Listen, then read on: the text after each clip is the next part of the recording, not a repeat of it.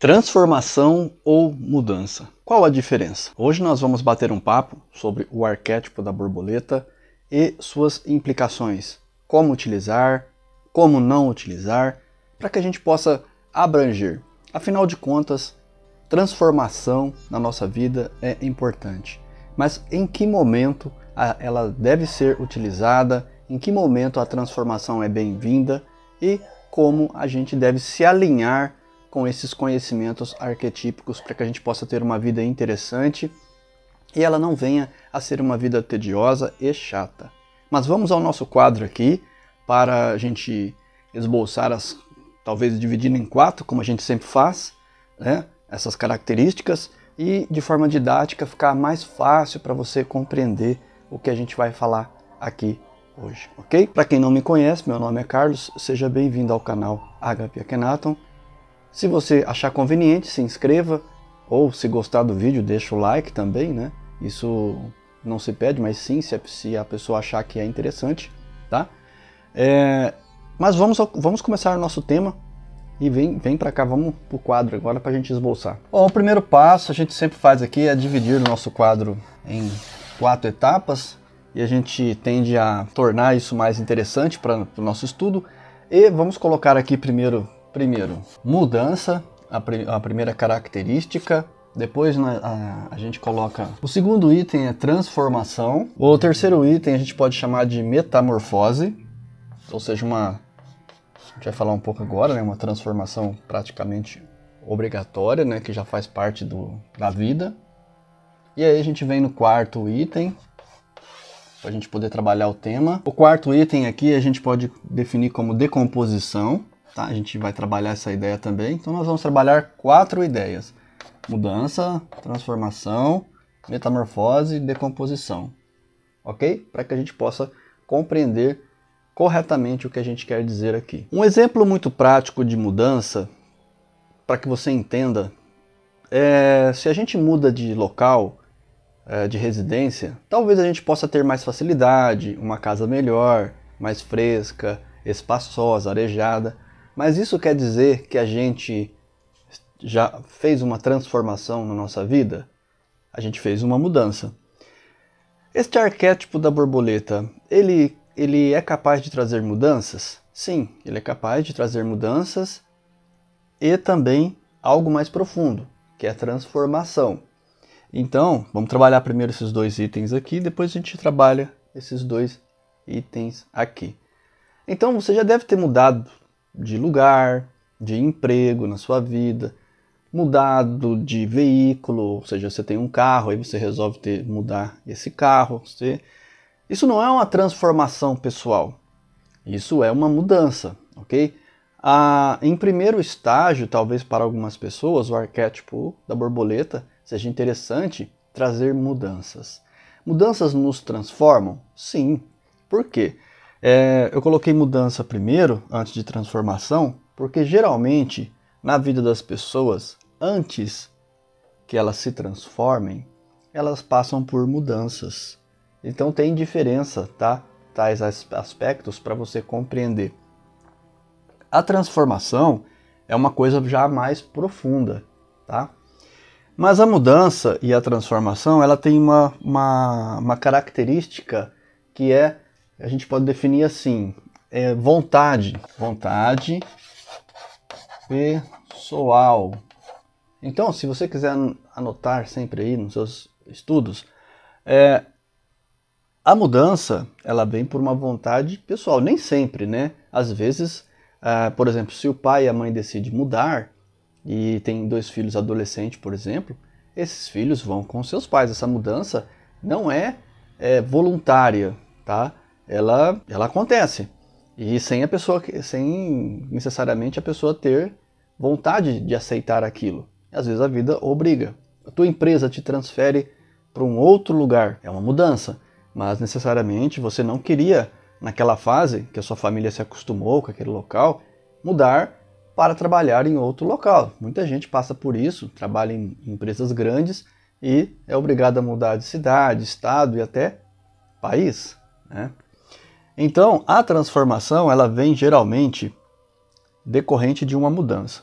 Então, se você coloca o arquétipo da borboleta e você quer uma transformação na sua vida, mas você não faz nenhuma mudança por vontade pessoal, essa, essa segunda etapa aqui, ela sofre uma, um, um, um, vamos dizer assim, uma diminuição do seu poder. Ou seja, você transforma, você está sempre se transformando. Essa é a verdade. A gente já chega aqui na metamorfose. É, você tem que entender que a, nossa vida é, ela é uma transformação. Você vai experimentar vários corpos ao longo da sua vida. Você vai experimentar a infância com o corpo de criança, a adolescência cheio de hormônios e, e vitalidade que um adolescente tem, quase que gerando uma espécie de loucura cerebral, né? toda aquela alegria do adolescente. Depois vem a juventude, os namoros, a química do amor, da paixão. Depois vem a maturidade, são corpos diferentes, são estados de consciência diferentes.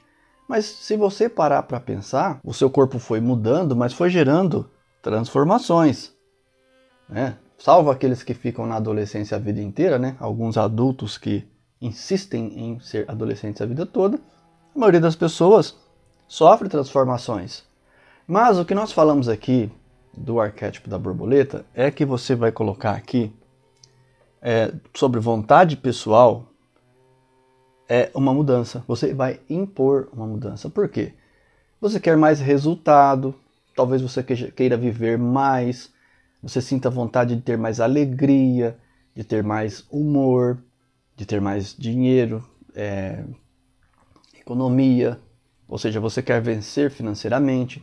E às vezes você faz tanta coisa na sua vida, trabalha tudo e faz até mudanças, mas não sofre uma transformação real. Porque mudança exige conhecimento. Ou seja, muitas vezes a gente quer fazer uma mudança, mas a gente não tem conhecimento exato de como a gente deve fazer essa mudança ou o que a gente deve mudar.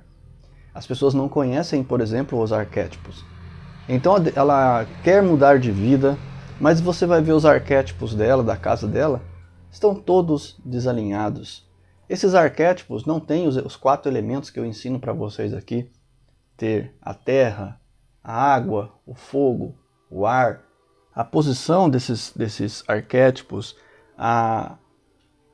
E veja, a gente tem que entender o seguinte: às vezes a transformação e a mudança é boa, mas às vezes você chegou num ponto da sua vida que está excelente. Se melhorar, estraga, como diria o ditado? Não, se melhorar, melhora sempre, né? É, a gente tem que tirar certas frases do nosso vocabulário. Mas você tem que compreender o seguinte, que se eu quero uma mudança, irei sofrer uma transformação. Nem sempre, às vezes, toda transformação é, é boa para a gente, mas às vezes ela amadurece o ser. Então tem vários aspectos que a gente pode colocar aqui, que é muito importante você analisar. Se eu quero uma transformação, por exemplo, é, por quanto tempo eu utilizo o arquétipo da borboleta? Por um, um período, né? por um certo período. Por quê? Quando é que vai chegar o um momento que você diz assim, opa, tá bom. Né? Tira um pouco o arquétipo da borboleta, vamos colocar um outro arquétipo aqui para a gente, é, uma outra ideia, um outro estado de consciência. Porque a borboleta é um estado de consciência. Né? você faz uma mudança e você naturalmente provoca essa metamorfose pessoal. Né? Tem uma música do, do Raul Seixas né, que fala sobre isso, né? que ele fala que ele prefere, ele prefere ser essa metamorfose ambulante. E ele diz assim na música: do que ter a velha opinião formada sobre tudo. Porque, veja só, Uh, tem gente que prefere exatamente isso. Ser, ter a mesma opinião a vida inteira, ter a mesma crença, não se abrir à possibilidade de transformação. E veja, uma transformação por vontade pessoal é muito saudável. Já uma metamorfose é, por forças maiores implica em você, às vezes, passar por sofrimentos para chegar a certos níveis de consciência. Então, aquela pessoa estática, que é estável, que sua vida fica para trás, ela corre o risco de ter sempre aqueles mesmos amigos, e se, esses mesmos amigos que estiver na sua vida forem pessimistas, forem pessoas, ah, vamos dizer assim, desinteressantes, pouco atualizadas pelo mundo, o que, que acontece com você quando você tem aqueles amigos que têm as velhas opiniões formadas sobre tudo? E o que vai acontecer? Vocês vão sempre repetir as mesmas opiniões formadas sobre tudo. E vocês nunca vão mudar.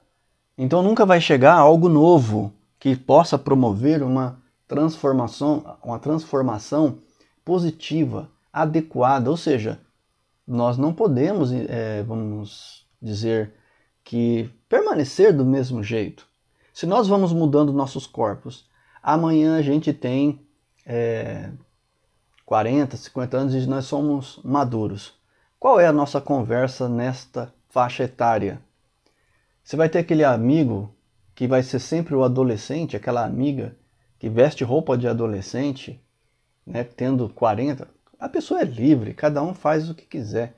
O que eu estou falando para vocês interpretar aqui é justamente a, aquela questão de que se isso é bom ou não para você. Se isso realmente é uma coisa útil, no sentido de ser eternamente um adolescente, você irá passar e sofrer pelos mesmos vieses que os adolescentes passam. E veja só, você quer sempre lidar com o amor, com a paixão do mesmo jeito? Né? Às vezes não. Às vezes a gente tem que ter uma prioridade diferente na vida da gente. Tal porque às vezes nós temos filhos, nós temos nossos pais envelhecendo, a gente vai ter que lidar com a morte dos pais.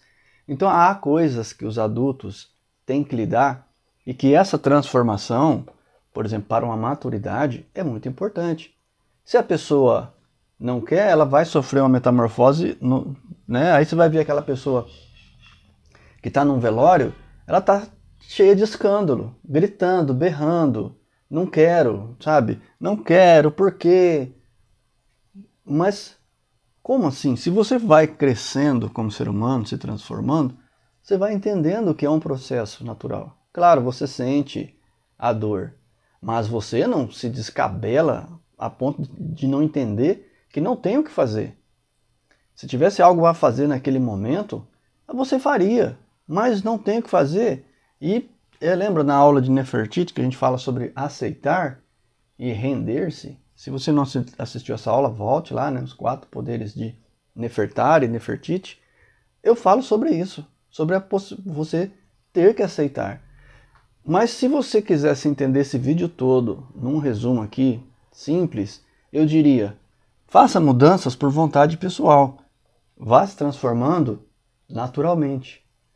Não deixe que é, a metamorfose venha, como o casulo, que faz parte do arquétipo da borboleta, né? que está no casulo e ele sofre naturalmente. Mas aquela borboleta que quando o casulo abre, ela não tentasse esticar suas asas, mexer suas asas, o que aconteceria? Aquele líquido iria colar suas asas. Quando ela tentasse tardiamente abrir suas asas, elas não iriam se abrir. E se ela não voar, ela não irá existir como deve existir e morrerá, sem ter a experiência que a vida pode oferecer. Então, mudanças implica às vezes em vontade pessoal. Às vezes essa mudança, essa vontade pessoal, isso aqui é agradável? Não. Na maioria das vezes vocês, não, vocês vão ver que não. Então eu digo assim: olha, eu quero comprar uma casa maior porque no futuro eu vejo a minha família grande.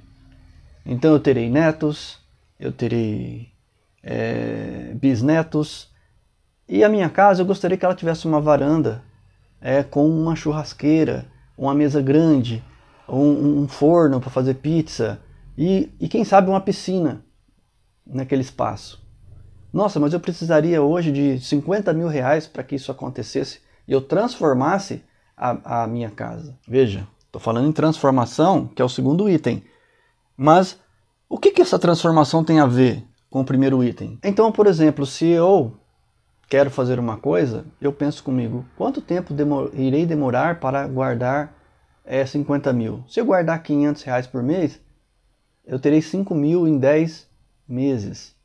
Então eu irei precisar, se for 500 reais, talvez 45 meses, porque a gente tem os juros né, do, investimento. E aí você fala assim, puta, 45 meses, são quase 5 anos juntando, eu teria que fazer uma mudança na minha vida para pegar esses 500 reais e guardar para fazer essa transformação. Mas veja só, você tem filhos casados ou filhos que vão se casar, então tem um tempo para você fazer isso, que você pode fazer isso. Então você cria uma vida estratégica, ok? Então você guarda aqui. Uma vida estratégica é o quê?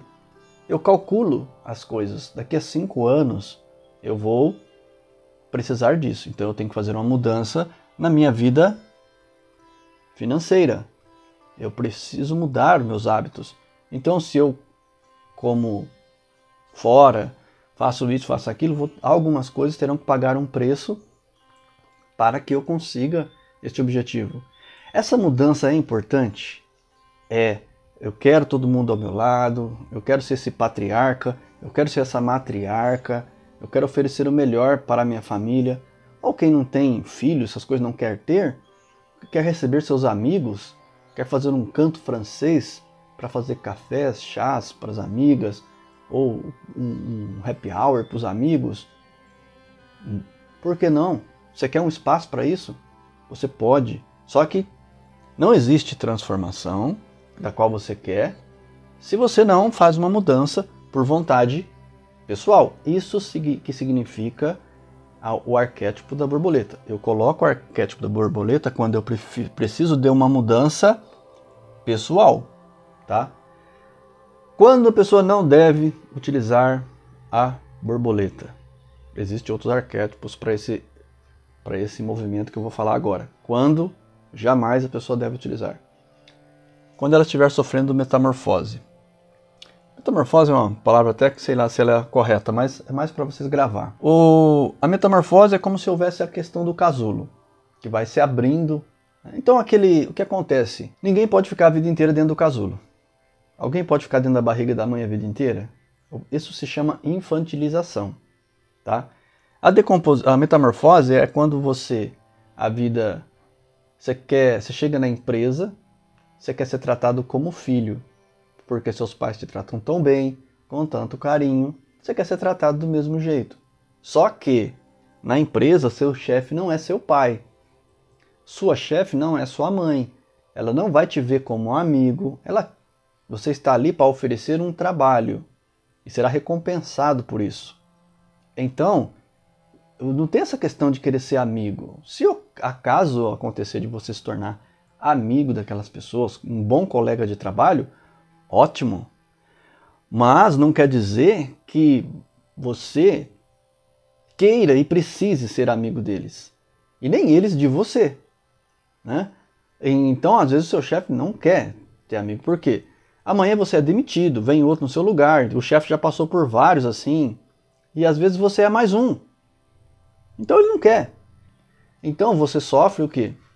por começa a sofrer porque ah, eu queria tanto que eles fossem meus amigos. Hoje tem um, um dilema que é assim, o jovem chega na empresa, ele quer alcançar cargos altos, rápido. Só que ele é jovem, ele não tem uma tarimba, uma experiência que os antigos têm, mas ele quer, tá? Ele quer ser. Então ele vai fazer o quê? Ah, ele vai insistir para criar essa essa mudança que ele tem que oferecer um trabalho por muito tempo, por vontade pessoal, para fazer essa transformação externa, mas ele faz o quê? Ele utiliza o quê? Ele sofre o quê? A metamorfose, que é o quê? Vão impor a ele contra a vontade dele e vai sofrer uma metamorfose. Por quê? Porque tanto o jovem que é infantilizado, quanto o outro que quer crescer e não entendeu que ele tem que ter experiência, que ele é, não sabe de nada ainda, né? não sabe de nada, inocente, como diria a frase. Ele não sabe de nada, então ele vai sofrer esse processo aqui. Então as pessoas vão impor nele, contra a vontade pessoal, colocar ele no lugar dele. Quando ele for machucado, ele vai sofrer transformação. E o que, que essa transformação vai fazer? Vai voltar. Essa aqui, quando é assim, ó, porque o relógio ele tem que ser, né? Um, dois, três, 4. Agora, quando é aqui, ó, 3, 2, 1. Ou seja, ele vem aqui porque machucam ele, colocam ele no lugar dele e aí ele volta. Por quê? Por transformação, ele faz uma, essa, as mudanças que ele tem que fazer. Porque se ele continuar com o mesmo comportamento, ele será demitido. Os pais, por amor, não expulsam seus filhos de casa. A menos que tenha 30 anos, né? Ou 40. Né? Então eles não expulsam seus filhos de casa. Agora, os, os patrões, sim, eles demitem funcionários, não tem dó. Por que teria dó de um, de um jovem? Tá? Então, esse é o efeito inverso. Quando não usar a borboleta também? Quando você estiver em decomposição arquetípica. Ou seja, o que é decomposição arquetípica? É a pessoa que abandonou a si mesmo ou a si mesma. Ele não liga mais para si. Ele não quer fazer mudanças. Ele não, ele tá vendo que está decompondo, tá vendo, está vendo que cada dia está ficando mais feio. É, está se tornando uma pessoa desinteressante, ninguém convida mais essa pessoa para um, um almoço, para um churrasco, para um happy hour, para uma viagem. Ninguém compõe. Por quê? Porque essa pessoa está numa decomposição. O que é decomposição? Às vezes pode ser aquela pessoa obcecada por trabalho. Ela só fala de trabalho, só vive o trabalho. Ela não tem tempo para nada.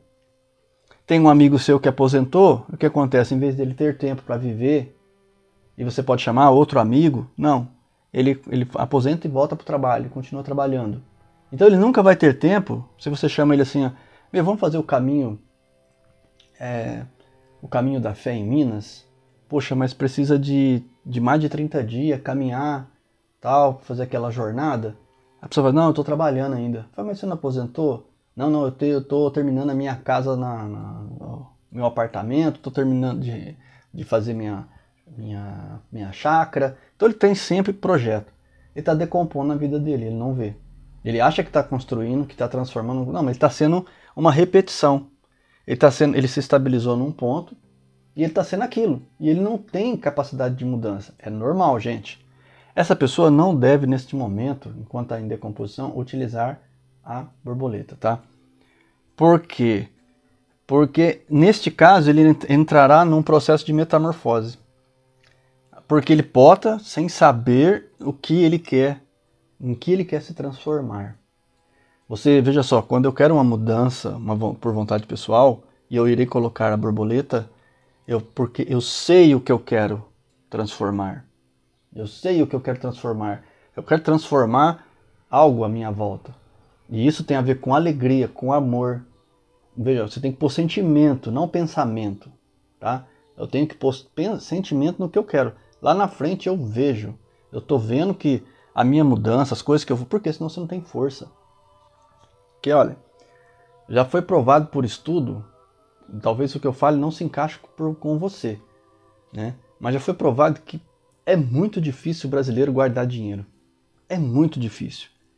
Então, se ele não tem conhecimento dos arquétipos, ele não consegue mudar esse aspecto, que é o que realmente lá na frente vai dar poder de mudança. Dinheiro na conta. É, porque você fazer, achar que uma transformação, um carro diferente, um, um, um canto, uma casa, um apartamento, vai cair do céu como lei da atração, tá, tá totalmente não acompanha os nossos vídeos aqui. A gente tem falado muito sobre o desenvolvimento da vontade pessoal. Falar nisso, se você chegou até agora, escreve aí vontade pessoal, tá? Por gentileza, para agradecer aqui e ajudar o canal a, a desenvolver vontade pessoal. Então, gente, eu vou encerrar por aqui porque já está longo o vídeo, mas eu acho que você captou tudo o que eu falei aqui, tá? Em outros vídeos a gente vai e trata melhor esse tema com vocês para que vocês possam compreender, ok? Serenidade profunda em seu coração, eu me torno você. Obrigado por sua presença.